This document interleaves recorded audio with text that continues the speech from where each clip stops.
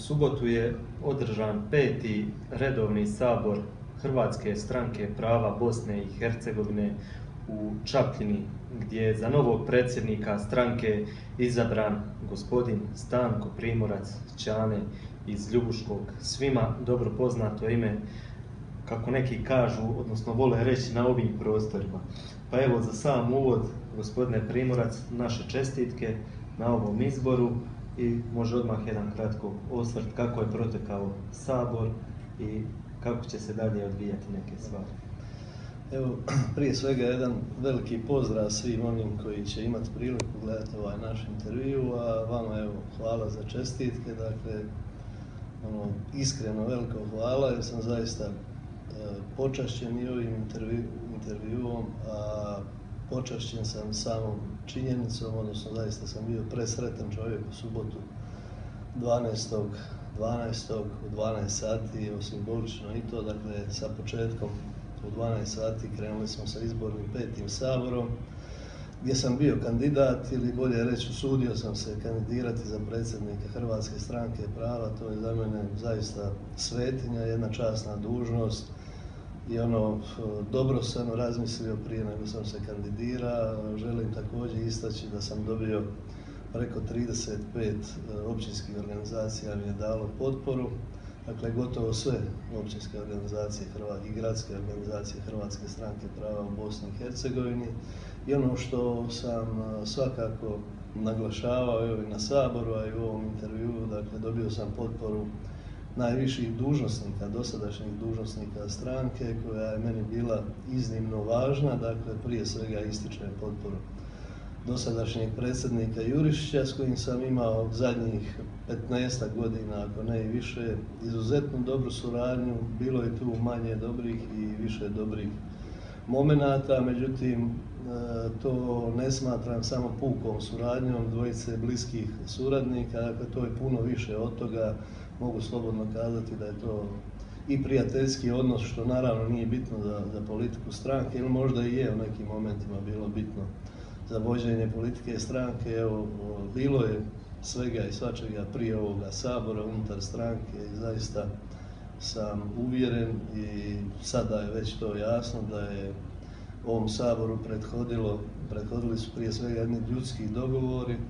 i razgovori sa svim onim koji su imali narušen, narušene odnose unutar vrha stranke, tako da sam evo i s tim ovaj, ponosan što sam uspio pomiriti određene stavove, napraviti i određene kompromise. Naravno, činili smo to sve za dobrobit Hrvatske stranke prava, koja je evo na ovom saboru i u svom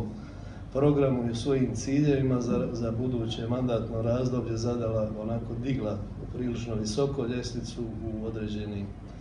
u određenim konkretnim ciljevima koje ja prije svega kao predsjednik želim napraviti u narednih nekoliko godina, odnosno dok budem vodio Hrvatsku stranku prava. Dakle, jedno to turbulentno razdoblje, da ga tako nazovemo, od proteklih nekoliko mjeseci je iza HSP-ovaca, a kada spominjete te ciljeve, možete li već sada, danas reći koji su to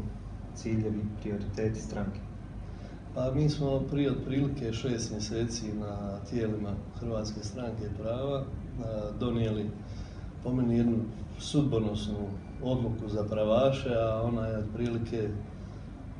izgledala ovako, dakle, da se vrh stranke, tadašnji predsjednik i ja kao zamjenik predsjednika i predsjednik glavnog stana zadužuju da obave razgovore sa svim pravaškim strankama oko nekakvog e, minimuma zajedničkih, zajedničkih stavova kad je u pitanju pravaštva u Bosni i Hercegovini i da se vide i mogućnosti okrupnjavanja pravaške scene i mogućeg naravno i ujedinjenja što, što neće biti lako, ali evo uvjereni smo da će sa nekim pravaškim strankama zaista i ta mogućnost ovaj, biti na vidiku, tako da sam uvjeren da ćemo jedan od tih ključnih ciljeva evo, njega podvlačim, dakle, suradnja i pokušaj ujedinjenja pravaša, odnosno e, jednom rečenicom, znači, pokušaj stvaranja ozbiljne, ponovno ozbiljne političke e, alternative, mogu slobodno kazati, jednom HDZ-a BiH, koje je evo već godinu i pol dana, koliko su oni godinu dana i nešto ovaj, na, na vlasti i ja sam vrlo dobro informiran o političkim tijekovima, događanjima na svim razinama. Ne vidim baš da se niti dio onoga, niti manji dio onog što su obećavali u predzbornoj kampanji, ovaj, da se ostvaruje, niti hrvatski narod ima bolju poziciju, niti hrvatski narod kao ni druga dva naroda u Bosni i Hercegovini ne žive bolje. Ali evo, i u tom kontekstu je najavljena jedna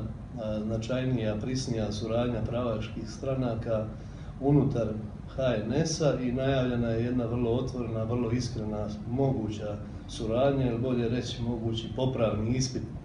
za suradnju između HDZ-a 1990. i Hrvatske stranke prava Bosne i Hercegovine. Tome je upravo naš portal pisao neposredno nakon sabora u Čapljini. E, što se tiče te suradnje sa drugim pravaškim opcijama, čini mi se prvi korak je već učinjen u Čapljini gdje su vam došli dati svojevrsnu podršku gospoda Tepeš iz Ćorić iz HSP-a, dr. Ante Starčević iz Republike Hrvatske i tom prilikom ste s njima potpisali već jedan dogovor, ugovor o suradnji. Tako je, dakle, na Saboru je nadočio osobno predsjednik Hrvatske stranke prava dr. Ante Starčević, profesor Tepeš, zajedno sa svojim suradnicima. U tijeku Sabora priključio se i novo, izabrani zastupnik Hrvatskom saboru, glavni tajnik te stranke, gospodin Pero Ćorić. E, dobili smo telegram potpore od trećeg izabranog zastupnika te stranke, doktora Kirina iz Rijeke, koji je dugogodišnji član i aktivist HSP-a koji je još od 90. sa pokojnim Antom Paračikom utemeljio Hrvatsku stranku prava u Hrvatskoj. E, ta potpora nam je iznimno važna, a nju smo praktički okrunili jednim potpisivanjem sporazuma e, o suradnji ove dvije političke stranke kao dvije najjače pravačke opcije u dvije države. E, u tom sporazumu smo naglasili promicanje načela, pravaških načela prije svega, promicanje ideje pravaštva, odnosno e, stalno naglašavanje da nas nikakve granice ne mogu podijeliti, dakle da ćemo naravno poštivati sve pozitivne propise, zakonske propise i Europske unije, Republike Hrvatske i Bosne i Hercegovine, dakle nećemo i ne možemo brisati granice, međutim želimo naglasiti da nikakva granica ne može podijeliti jedan narod koji živi u dvije države. E, oni su željeli jasno također potpisati da će se snažno zalagati za popravljanje pozicije hrvatskog naroda općenito u Bosni i Hercegovini koji je u užasno teškoj poziciji,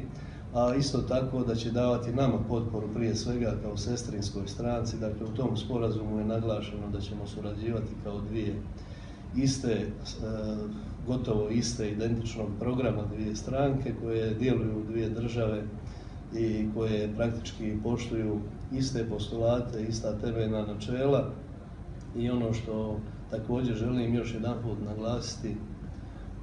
je da su pravaši, odnosno pravaštvo općenito kao, politička, kao politički svjetonazor u hrvatskoj politici od kad je nastalo prije više od 150 godina je jedini izvorni, kako bi rekao, hrvatski politički program koji se ne ogleda niti u republikancima, niti u nekim drugim liberalima, žutim, zelenim i sličnim strankama ovaj, koje djeluju u Europi i svijetu. Dakle, hoću reći da sve e, stranke pripadaju ili nekakvim velikim pučkim obiteljima europskih demokratskih stranaka, i seljačke, seljačkih stranaka, i socijaldemokratskih, i socijalističkih, pa evo spomenut ću i komunistički pokrete prije, prije, prije dolaska demokracije 90-ih, dakle evo, HSP je jedini, kako bi rekao, dakle izvorni hrvatski politički državotvorni program kojeg mi zaista želimo, ja sam to i u svom obraćanju ovaj, sabornicima i zaslanicima petog sabora nekoliko puta podcrtao, dakle da me mogu i kritizirati i upozoriti i opozvati ako treba ukoliko prekršim bilo, koji, bilo koju temeljnu, temeljno načelo pravaša koje je jako dobro poznato svim aktivnim pravašima i naravno statut naše stranke HSP-a BiH. Dakle, evo, u u tom e, sporazumu je dotaknuto još nekoliko detalja koje se odnose na tu našu zaista intenziviranje suradnje. Koliko mogućnost, ne znam, za sljedeće izbore već 2016. godine da zajednički imate liste sa HSP-om Ante Starčević u Bosni i Hercegovini? Pa ta mogućnost će sigurno se ostvariti, dakle, e, baš konkretno sa HSP-om Ante Starčević već se vode određeni, određeni razgovori sa njihovom strankom ovdje u Bosni i Hercegovini. Ja se nadam da će to biti, odnosno to bi trebalo biti prvo što ćemo učiniti, što je sigurno dogovoreno da će biti i provedivo. Na Saboru je i gospođa Vesna Pinjuh iznijela vrlo slične stavove našim, da se trebamo, da trebamo skupiti glave, da trebamo zajednički pokušati napraviti jedan puno ozbiljniji iskorak i da se pravaši trebaju i okrupniti i ako je moguće ujediniti. Tamo je bio gospodin Koroman koji je vrlo slično iznio stavove i nakon sabora u razgovorima u jednom užem krugu također iznio e, da ima e, vrlo veliku volju da se tako nešto dogodi. U stvari mi evo godinama, evo kad je HSP raslo na tih 5-6 frakcija ovaj, vrlo glasno govorimo o tome i pokušavamo. Jel, mada ja uvijek kažem, teško će biti formalno ujediniti toliko političkih subjekata koliko ih neko, ukoliko želi, može napraviti, odnosno registrirati na našim nadležnim sudovima, s obzirom da mi imamo zakon, o, zakon koji regulira registraciju političkih subjekata na jednak način kao što regulira jedne obične građanske udruge ili slično nešto. Dakle, vrlo jednostavno je za par dana registrirati politički subjekt sa bilo kakvim nazivom, ali evo mi e, ćemo biti e, svoju energiju usmjeriti prema ljudima, istaknutim pojedincima, udrugama pravačke provenijencije i pokupiti, e, pokupiti te ljude i te glave da je jedan, jedan snažan politički blok koji bi trebao rezultirati ovaj, jednom političkom alternativom, ponavljam opet jednom koji se događa kroz HNS koji je zaista, evo valjda je svakomu jasan nakon godinu i po ponovno zloupotrebe u političke svrhe jedne stranke ili jednog, jednog malog broja ljudi. E, vrlo je znakovit bio istup, možda smo to kratko spomenuli, dakle, glavnog tajnika Hrvatske demokratske zajednice 1990 gospodina, gospodina Citanovića koji je E, zaista iskreno rekao da treba dati bar još jedan put priliku e, dobroj, kao nekada dobroj suradnji HSP-a i HDZ-a 1990, jer nije dobro kad jedna mala grupa ljudi ili jedna politička stranka kontrolira sve procese kao što je to slučaj kod Hrvata u Bosni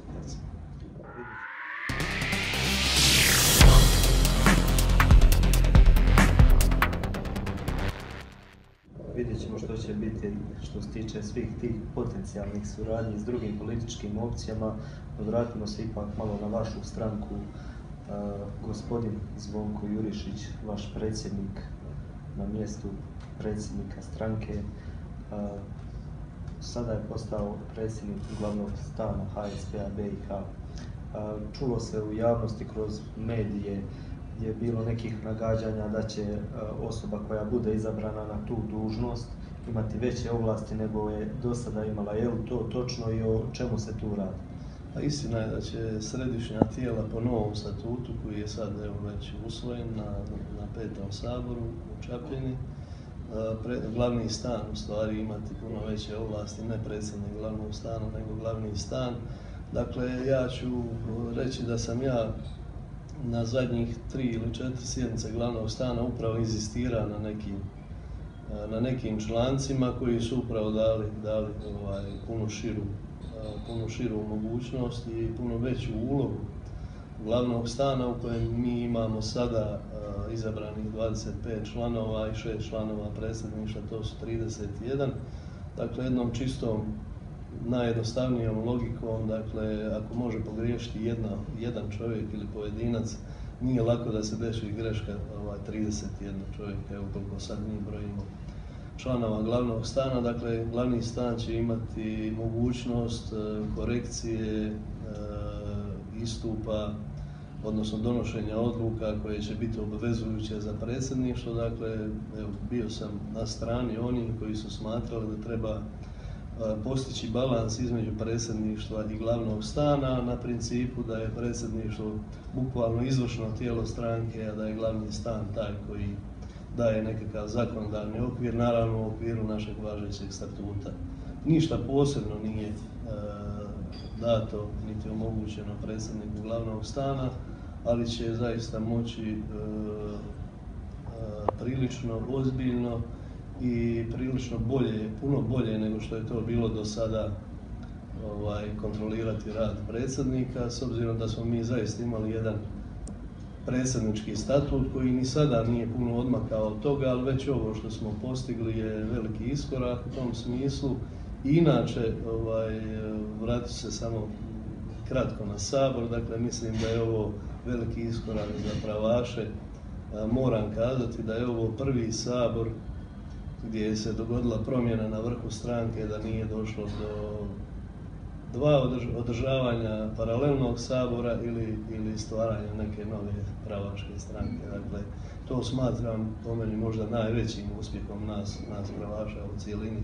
mislim da je to rezultat truda nekolicine e, ljudi koji su zaista se izdigli iznad svega toga, tu su svakako ja, predsjednik, donedavni predsjednik Jurišić i još nekoliko najbližih suradnika i mislim da smo, da smo zaista sazreli za stvaranje jedne zaista snažne i ozbiljne političke, političke pravaške organizacije i da ćemo HSP sigurno vratiti na razinu na kojoj je bio, ako ne i stepenicu dvije više. Mnogi će sigurno zanimati odnos gospode Zvonke Jurišića i Viktora Kresića je to stvar prošlosti, te trzavice koje su postojale u tom, kako smo rekli, turbulentnom razdoblju kroz proteklih par mjeseci i imali još nekih trzavica, ne samo na toj, nego i na nekim možda drugim relacijama unutar stranke. Pa bilo je, e, bilo je toga, ja mislim da zaista možemo kazati da je to iza nas. E, evo, prvi put ću ovaj, javno spomenuti, dakle, poznato je bilo široj javnosti da je tu došlo bilo i do verbalnog sukoba, da je to bilo ispod razine dvojice suradnika koji su godinama radili, radili zajedno. Ja moram kazati da su e, Viktor i e, predsjednik Juriš, donedavni predsjednik Juriš bili dugo godina puno bliži suradnici već što sam bio ja ovaj, sa predsjednikom ili sa jednim ili drugim. I naravno, jel, kad je to došlo do nekakvog osobnog, nekorektnog odnosa koje je išlo i u javnost i kroz medije, teško je sve to povratiti, ali žuči i nema tamo gdje nije bilo prijateljstva i gdje nije bilo bliskog odnosa. Vjerovatno je razlog ovaj, toga upravo to. Međutim, evo ja sam uspio i jako sam ponosan i sretan što sam uspio prije Sabora da i to stavimo iza sebe, jer stranačke kolege, politički istomišljenici istog ili vrlo sličnog svjetonazora. Na koncu 20 godina, ja i Viktor se znamo 25 godina, surađujemo kroz stranku, a Zvonko i Viktor bar 20 godina su, mogu kazati, bili jedni od najbližih suradnika i privatno i kroz stranku i tako da jednostavno je bilo neprihvatljivo predložiti ovaj, Viktora u predsjedništvo i sutra moramo sjediti za istim stolom, donositi e, sudbonosne odluke za HSP, jačati HSP, da za istim stolom imamo ljude koji su 20 godina surađivali, a nemaju komunikacije, dakle bilo bi ne, neprirodno i nelogično, evo zaista još jedan put iskazujem zadovoljstvo i sretan sam što sam uspio i sretan sam što su njih dvojica, to je baš bilo jedno iskreno rukovanje i obećanje ovaj, sve trojice da ćemo sve to ostaviti iza nas, da idemo u grad stranu kao što smo to učinili već 20 nešto godina. Koliko se onda brzo HSP može vratiti na te negdašnje margine kada ste bili uh, odmah do vladajućeg HDZ-a, znači glavna oporba vladajućoj stranci unutar većinskog hrvatskog korpusa u Bosni i Hercegovini? Uh, ja sam siguran da je to jako puno posla, prije svega za mene i za moje najbliže suradnike, ali sam u ovakvom ambijentu, u ovakvom, uh, u ovakvom stanju kako je sada posluženo u HSP-u, siguran da će prvi test pokazati da smo uspjeli, a to će biti naredni lokalni izbori. Mislim da je već sad jasno da neće biti pomjeranja, da nema uh, ustavnih promjena, odnosno promjena izbornog zakona u tom segmentu. Dakle, bila inicijativa da se lokalni izbori pomjere dvije godine, da se održe zajedno sa narednim općim izborima. Ja mislim da je to propala stvar da će po sadašnjem zakonu biti lokalni izbori u 10. Prvo, prva nedjelja u 10. mjesecu naredne godine i da ćemo mi m, tih e, desetak mjeseci koji je pred nama nije dostatno da mi uradimo sve ono što mislimo da moramo u stranci, ali mislim da će biti sasvim dovoljno da budemo, nisam siguran druga, ali da budemo među prve tri najjače hrvatske stranke, ali ako ne budemo imali nikakvih problema, ako ne budemo imali podmetanja sa strane koje su, koje je gotovo nemoguće izbjeći, dakle jak, jaki HDZ sigurno neće mirno promatrati da se stvara jedan ponovo jaki HSP, tako da očekujemo probleme i udare s te strane, ali mislim da smo previše iskusni i da takve stvari neće nas pokolebati. Evo kažem, prvi test, odnosno prvi, prvi rezultat koji će biti matematički opipljiv će biti u 10. mjesecu 2016. godine i siguran sam da će to biti iznenađenje. Znači, ćete glasati najvećim dijelom računati, je to možda braniteljska populacija, jer je poznato u javnosti da dosta dobro kotirate unutar svih tih braniteljskih i udruga i samih branitelja, ili računate i na neke druge glasove? Pa ja ću pokušati Hrvatsku stranku prava prezentirati u njenom punom stvarnom svjetlu, a tu je neizbježan ovaj buntovnički segmenta i sam sam takav, tako da ću, da vjerujem da ćemo, siguran sam da ću jedan dio braniteljskih glasova ili značajniji dio ovaj, pozivat ću branitelje da mi daju potporu. Siguran sam da ću u tome uspjeti, međutim e, mi mislimo da trebamo snažnije i ozbiljnije ući prema, e, ići prema mlađoj populaciji koja umjesto da iseljava iz Bosne i Hercegovine, da traži da ide trbuhom za kruhom u zapadne države. Mislim, porazni su podaci, oni su neslužbeni, ali vjerujem da i vi sami znate u svojim sredinama, dakle iz Ljubuškog u zadnje dvije godine, od famoznog e, prvog e, prvog sedmog prošle godine kada je praktički dozvoljeno svim hrvatskim državljanima, tako i državljanima Bosne i Hercegovine, prije svega Hrvatima koji imaju domovnicu i putovnicu, omogućeno im je e, zapošljavanje redovnim zakonskim putem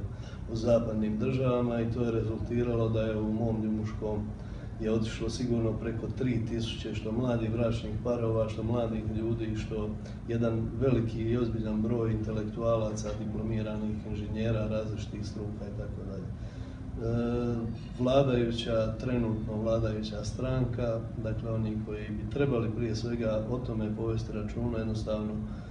su to prespavali, dakle oni to ne spominju uopće ovaj, kao problem, čak šta više mislim da njima to ne smeta, da, i, da je to u biti da su to ljudi koji se ne slažu sa njihovim vođenjem politike i sutra ih neće imati protiv sebe. Dakle, bojim se da ćemo na taj način izgubiti sve, izgubiti mogućnost uopće kreiranja političkog života u Bosni i Hercegovini bez mladih školovanih kadrova. Poseban segment kojem ću se možda najvećim dijelom posvetiti bit će mladi obrazovani ljudi. Dobro, evo, s ovim porukama možemo i završiti ovaj razgovor. Vama hvala i u svakom slučaju puno sreće u daljnjim aktivnostima. Evo, prije dva dana sa pozicije stranačkog predsjednika HSP-a Bosne i Hercegovine. Hvala vama na lijepim željama i pozdrav svim čitateljima vašeg portala i gledateljima ovog videa. Hvala.